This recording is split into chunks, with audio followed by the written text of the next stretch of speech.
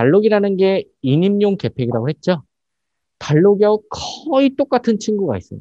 거의 똑같은데 약간 다른 친구가 하나가 있어요. 그게 뭐냐? 어, 좀 비교해서 알고 계셔야 되는데 설로 개팩이라는 친구예요. 우리가 설로 개팩이를 LS라고 합니다. 라인 스위치. 약호는 LS, 라인 스위치라고 그래요. 어, 얘가요, 거의 똑같아요. 달록이하고. 근데 차이점이 있어요. 그 차이점만 정확하게 알고 계시면 되는데, 얘는 언제 사용하느냐? 66kV 이상인 경우. 이상인 경우에는, 어, 그때는 달록이를 쓰지 말고, 달록이 대신에 선로 개폐기를 써야 한다라는 거예요. 써야 한다예요. 의무사항이에요.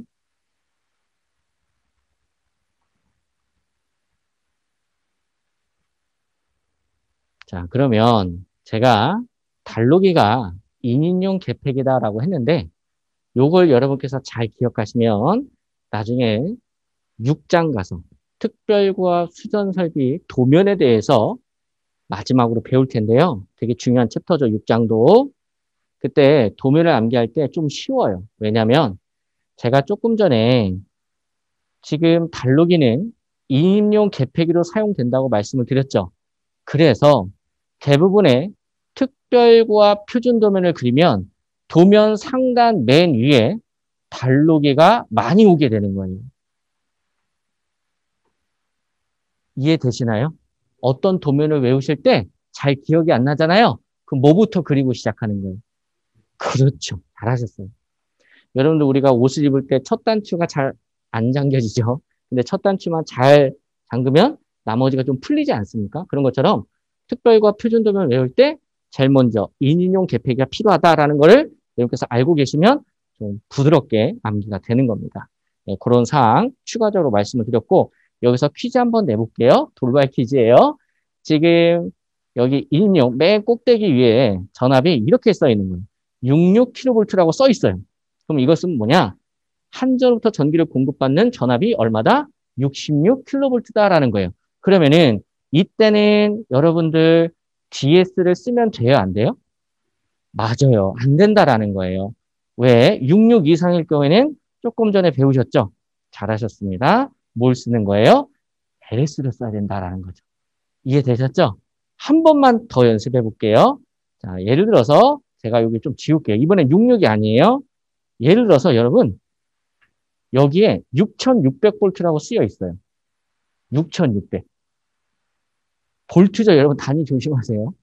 자, 이럴 때는 인용 개폐기로 LS를 써요? DS를 써요? 그렇죠. 잘하셨습니다. 이럴 때는 뭐다? DS다라는 거죠. 음, 조심하세요. 6600볼트하고 66kV는 같은 거예요? 완전 다른 거예요? 완전 다른 거죠. 근데 문제를 푸시다 보면 막 조급해지면 실수를 가끔 하십니다. 그래서 실수하지 마시라고 한 번 더 말씀을 드린 겁니다. 자, 이렇게 보고요. 자, 여기 밑에 잠깐 볼게요. 달로기의 약과 심벌을 지금부터 볼 텐데요. 달로기는 영어로 disconnecting switch라고 합니다. 그래서 약호를 뭐라고 써요? DS. 그렇게 어렵진 않죠? 잠깐. 선로 개표기 좀 전에 뭐라고 그랬었죠? LS.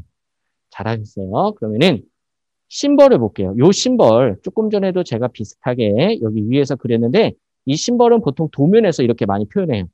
도면에서 특별과 표준 도면에서 이 심벌을 많이 사용하고요. 얘는 아주 가끔 써요. 아주 가끔 쓰는데 개통도에서 이렇게 그려져 있으면 얘가 이제 뭘 뜻하는 거다. 일반적으로 달로기를 뜻하는 거다. 어, 그럼 선생님 저 이거 너무 낯선데요? 예, 물론 낯서실 수가 있어요. 근데 여러분들 오늘 문제도 풀고 또는 이제 뒤에 내용이 더 나오거든요. 그 내용 나올 때 이 그림이 나와요. 그러면은 안 헷갈리세요.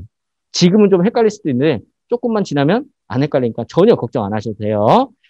자, 그 다음에 여기 단선도형이라고 되어 있죠? 그리고 여기 뭐라고 되어 있어요? 복선도형. 이게 무슨 말이냐? 보통 일반적으로 제가 아파트를 기준으로 하겠습니다.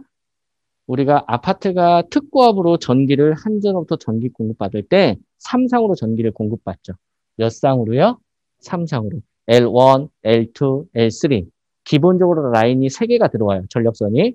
뭐 중성선까지 하면 3상4선식이 되는 거죠.